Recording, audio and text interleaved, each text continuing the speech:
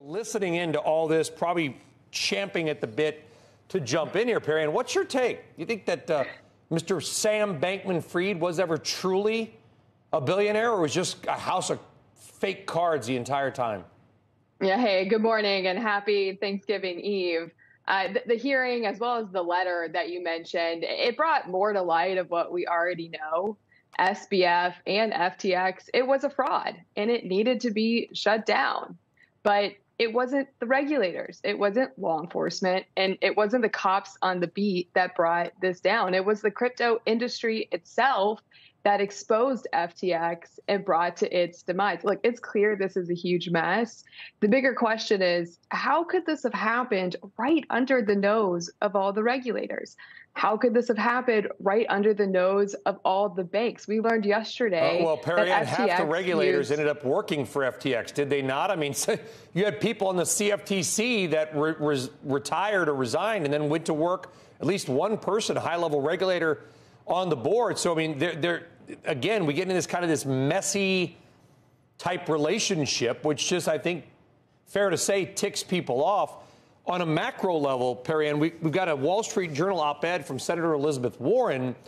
She says, and this is the headline, her, it's her words, not mine. Regulate crypto, or it'll take down the economy. Now, again, maybe that's a little bit hyperbole, but do you think crypto has the ability to quote take down the economy? Yeah, it's completely ridiculous. This is just trying to catch headlines. First off, we, we've seen statements from Secretary Yellen who said there's been very little spillover from the takedown of, of Mount Gox into the larger financial system. The industry is very much committed to keeping crypto and the larger financial uh, financial services industry separate uh, cre- uh, preventing contagion and stability to the markets. Uh, the industry today is uh, you know valued under one trillion dollars. This is nowhere near the, the level of of systemic.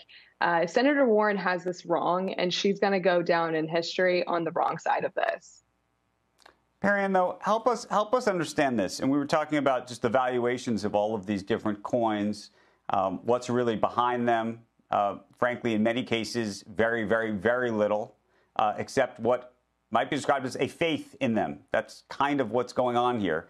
And how liquid they really are. So when you look at an FTT token, or you looked at Solana, or you looked at all so many of the coins that ultimately seem to be backing the valuation of what FTX and Alameda, Alameda were doing, was based on this idea that they had market caps in the tens of billions of dollars. And yet the truth is that on any one day, the, you know, there was no other, it wasn't like a company could come buy another company for set amount of money.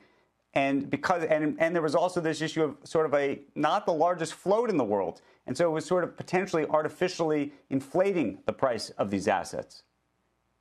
Yeah, no, that that's absolutely right. FTX issued their own token, the FTT token. They created their own cryptocurrency out of thin air. They used it as, as collateral. That is not a best practice in the industry, and it absolutely uh, impacted uh, the, the, the the level of uh, of issues, uh, you know, under the hood at FTX.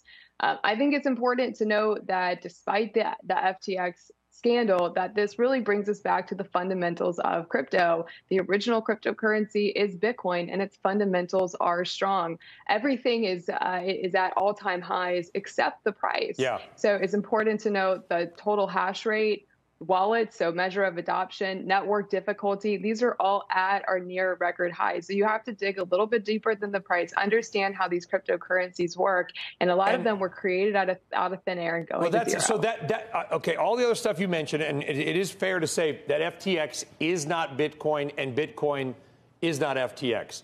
And uh, what I want our audience, who may only be peripherally paying attention to the story, to understand is the point you just made, Perianne they created a token out of thin air. They're not, they're not the only ones that did it. Okay, Binance has one. Others others have them. They created FTT, and what I want to I want to ask you right now. We could ask Novogratz later. Why would any sane investor, smart, whatever, accept FTT, the token, as real collateral to fund a multi-billion-dollar hedge fund? You know what I'm going to do today when I leave the show? I'm going to go into a car dealer. I'm going to make, I'm going to print up Sully bucks, okay, on the printer here at the NASDAQ. And I'm going to say, no, no, these are perfectly good, right? This is Sully Bucks, and they're backed by nothing, but you should give me a car. That's what happened. It's like the scene from Dumb and Dumber, right? Where literally Jim Carrey has the bag full of fake, that's an IOU. It's 275000 That's what, who would do this?